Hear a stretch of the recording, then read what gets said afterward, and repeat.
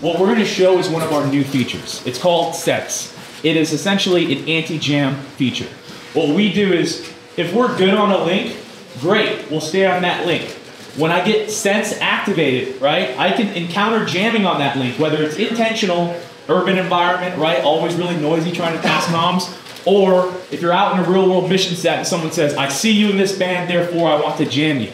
And when the jam comes in that band, our radio picks up that interference between two nodes and it says, hey, we're being jammed. We're going to move to the next pace plan, next, next frequency. So we're moving from, our primary link right now is 2250 on 10 megahertz. I have this as a special radio. I call them loudmouth. I put software on it just to yell, basically interrupt the link. We'll see the link drop out here when I kick off the jammer, and you'll see video go out.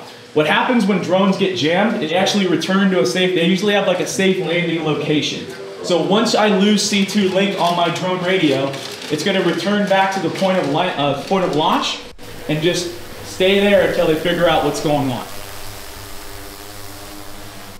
So now I should be jamming and uh-oh. Uh, just so you know, this backhand right here, right? It is showing a lot of activity in this bandwidth. If you want to take a look again.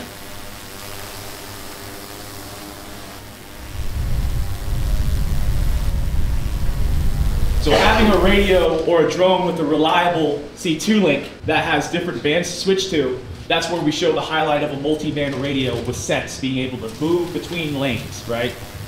And we're up. Now it's up. I've got mad noise here.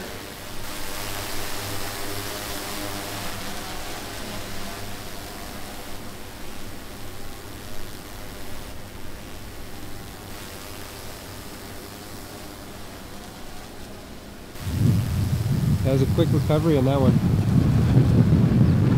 They want to see verify. This is the band that's primarily operating on. If I could keep something blood simple and I don't want to check RF and I can have something that's just switching bands within milliseconds and then video comes back up, easy to do, easy to implement, and we're really excited just to show this capability in general.